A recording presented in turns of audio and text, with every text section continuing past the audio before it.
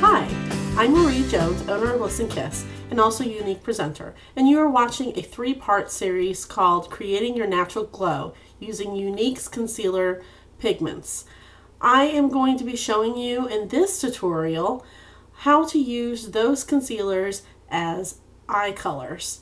As you can see in my eyes, it looks very natural, but I have three concealer shades on. And so, uh, if you have any questions, please let me know, but enjoy.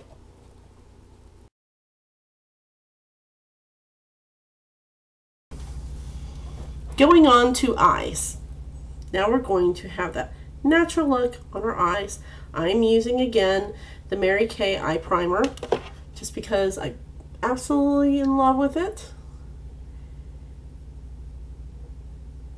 I have found, I don't know if this is just me personally, but I have found that um, if I apply the primer very close to my lash line and then try to apply the um, Moodstruck Mineral Precision Pencils, which we won't do in this tutorial because it's very natural.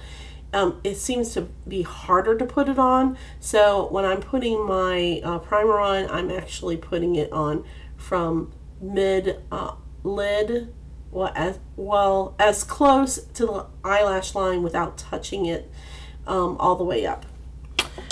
Okay, so the first thing you're going to do is whenever I use um, uh, colors on my lid, I start off with the shader brush liner, okay, and we're going to take our frivolous, whatever color that you have for your um, your foundation, um, that's what the color you want to use on your lid to make it natural, okay.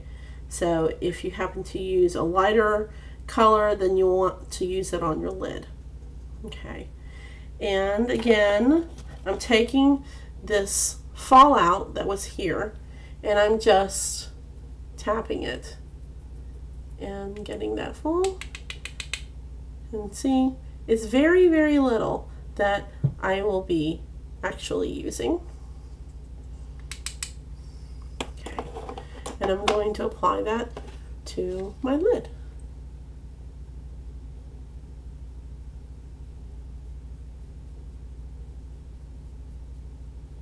And that's on my lid, okay? And then I'm going to go ahead and do the other one, just so I'm even.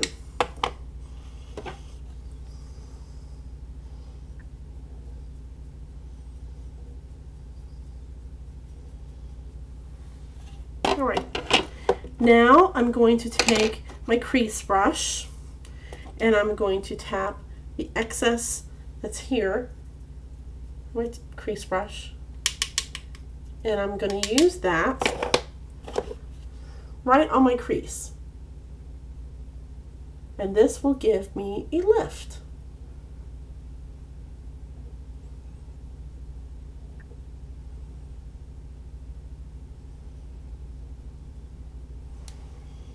And see how that just naturally lifts my eye up?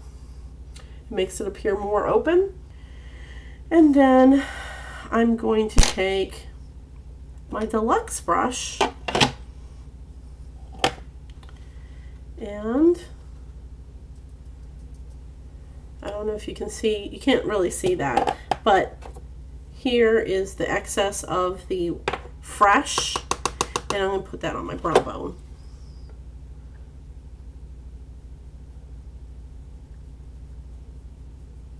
and I'm also going to put it in the inside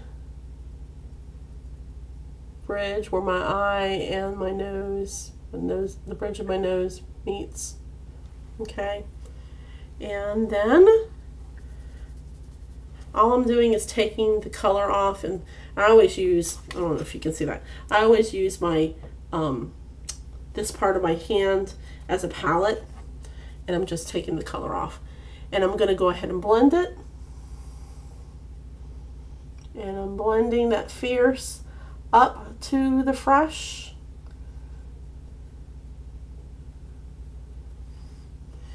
And I also want to take some of that um, Fierce and also apply it down on my lower lash line. Right. And that just gives me like this natural looking face. So you can see color, no color. Right, now go ahead and do the other side.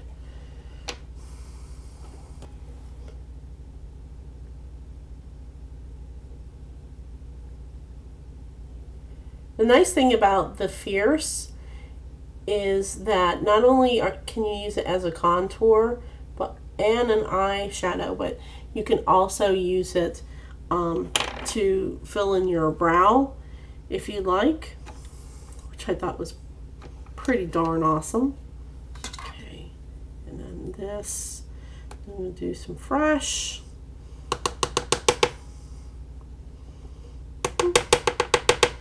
Okay, that's fresh. Right, clean that up.